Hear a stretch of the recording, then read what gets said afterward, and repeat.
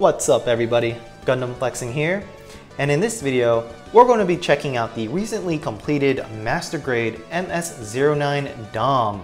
Now this guy came out in 1999, so that makes this kit about 20 years old and could still cost you roughly around 35 to $40.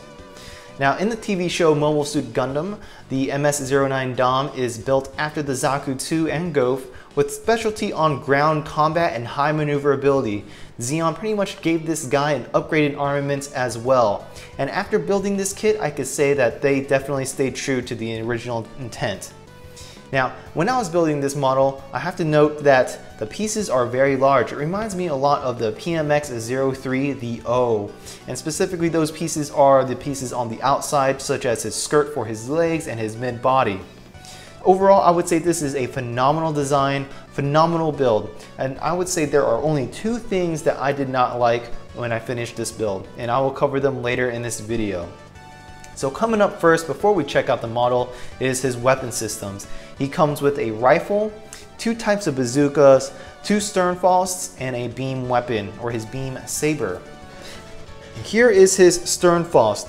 One has the fin, which is the one on the top, and then we have this Sturmfaust with the handle like this. This is a very simple build, and you do have two fins, so if you wanted to take one out and match the other, you're able to do so.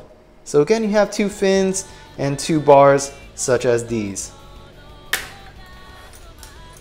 Next is his giant bazooka. Now his giant bazooka is pretty cool. It comes in several pieces. Most notably, it comes in two pieces, like that.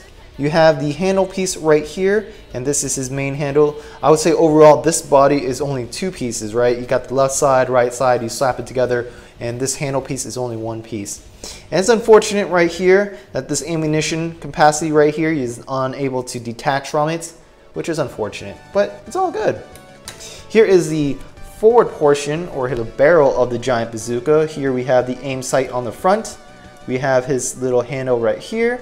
We have the mid handle right here. And of course we have his sights with the end of the sights being a transparent piece.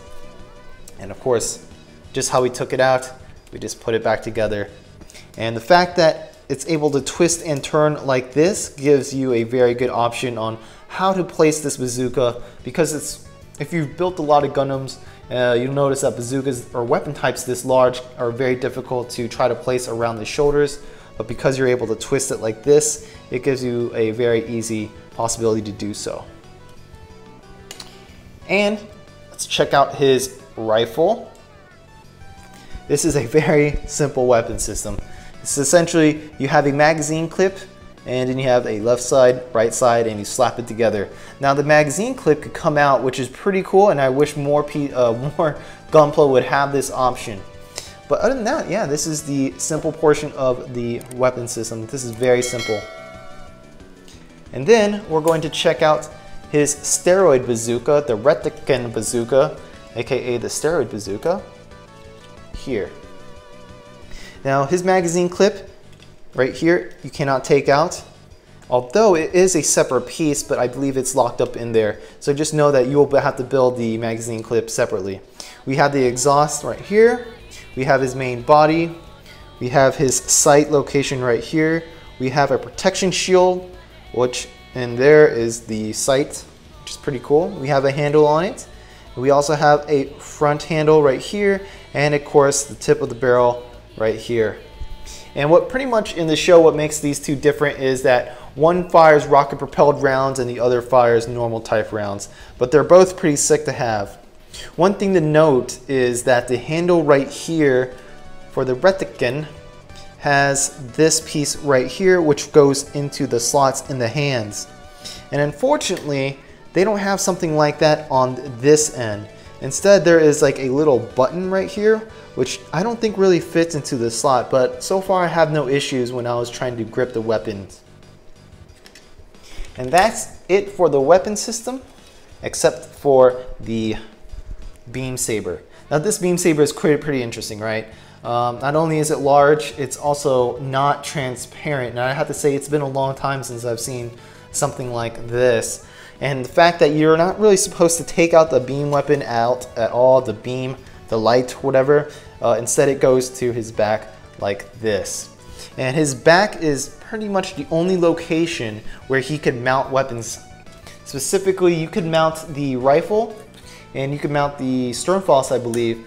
But other than that, you really can't mount anything else, which is unfortunate because this is the only slot right here. They don't have, allow you to do it here and here, which sort of makes sense because these things, these two bazookas are massive. So that's it for the weapon systems. And for the first thing that I did not like about this kit, maybe because it's really, really old and this guy's been in my back kit forever and I don't know, victim of temperature or whatever. But here are the dry decals. And I tried to apply the dry decals, specifically the Zeon one right here and the yellow logo on top of his shoulders, which explains the two little cutouts right here. Uh, I have to say that these things were very, very, I would say, sensitive in a way when I tried to apply the Principality of Zeon logo on his chest. Uh, just a slight movement immediately tore it, and you could see there's like a tear line right there. And I tried my best to salvage what I could, uh, and the other white portions simply just fell off, which is really unfortunate. And this one right here as well, the one on his left shoulder, you could tell there's like a little indent on the end of the arrow, the bottom arrow. And again, when I tried to apply this, um, simply just by touching the plastic, the whole thing started crumbling. It was really weird. Um, not sure if it was due to the age or maybe the way I handled it, but definitely did not appreciate that and will not be using any more of these dry transfer decals. But the good news is that it does come with sticker decals, transparent sticker decals like this. So I will be applying these primarily around his body. I sort of like these small little triangle, or not triangles, rectangular ones right here, and we'll find good places to put it all over himself. But for the meantime, the first thing I didn't like was the dried decal transfers. And now on to the model itself. Here, if we check out the head, he has like a very nice collar right here, which fits into the bottom portion of his eyes. He's able to look down. He's able to look up and he's able to have some sort of range of movement when he looks to the left or right. When you start making the head, it's actually pretty intrinsic too. It's pretty detailed. It has a lot of mechanical stuff in there. Doesn't really serve a purpose whenever he looks left or right, like his eyeballs still stays in the same spot, but it's still pretty cool. We look at his chest, nothing too special, but underneath his main plate, there is the cockpit. So like most master grades, you're allowed to build the cockpit and then have the pilot in there. Yes, he does have that uh, but it's covered right now over his giant shirt. And here we have a cool little transparent piece at the bottom. What I like about his chest is that he's able to lean back like this and then lean forward like this. So it gives you a pretty wide variety of posing him, which I really thought was a good addition. Looking at his back, we move his little cute saber he has two little thrusters on his back, but don't worry, he's supposed to be meant for high maneuverability, and that's what this thing will have when we check out what's on the bottom of the skirts. But yes, these little thrusters are movable, just a little bit difficult, like that. Now, if we look at his arms and shoulder, this is the second part what I did not like. I did not like the way they connected his shoulder joints to the rest of his arm. And I accidentally snapped this part off, so I'm gonna have to take this one off and show you as an example. Right here, ooh. So the way his arms are connected to the shoulder joint is via this piece here. And as luck would have it, it would not let me show you. But, so here it is this part right here. As you can see, this portion is connected here via two little pillars right there. They go into those slots and then it goes into the shoulders. I can't explain it to you, but I accidentally snapped off this. So whenever you're actually posing him, be very careful. Now the joints in general of this uh, of this kit is very stiff and very tight, which is good. But in a way, when I kept trying to pose, mess around with his left shoulder, those little pillars, those little two little pillars right here snapped off completely off. They just snapped off and I had to use glue to fix it. And this is something that I didn't think was quite necessary to make his shoulder joints like this. Uh, I think there's a better way to do it, absolutely. But overall, there's no issues with the joints. It's just that particular portion of his arms, which is what I had my biggest gripes. And it actually happened in both of them. But overall, his arms are pretty easy to use, pretty easy to build. And of course, one of my favorite parts when I'm building master grades, especially around the era, this type of era, are the hands. I love it when master grade kits come with hands like this with each individual joints. I think it's pretty cool. Let's throw up a peace sign. I think it's pretty cool. I don't really like to build master grades where the hands are like one piece. Um, this guy, he has joints all over his fingers and his thumbs, which makes gripping pretty cool and it just makes it overall more realistic. And of course, this is the slot where the weapon system goes in.